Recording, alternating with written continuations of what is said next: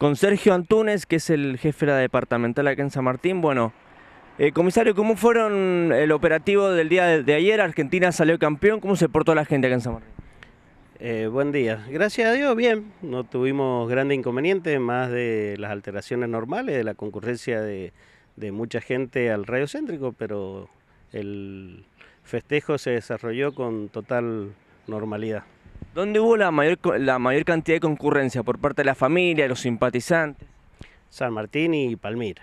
Y algunos festejos ahí en Tres Porteña, Chapanay, pero en menor medida. Bien.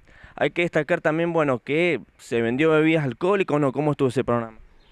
No, no, no, no, no tuvimos inconvenientes. Gracias a Dios en- por la venta de bebida alcohólica no tuvimos inconvenientes. Un festejo en paz, ¿qué le puede decir en este momento a la población de San Martín? agradecerle el comportamiento. Eh, tuvimos desmanes, pero menores, típico de este tipo de festejos, pero gracias a Dios todo bien. ¿Qué tipo de mane, por ejemplo?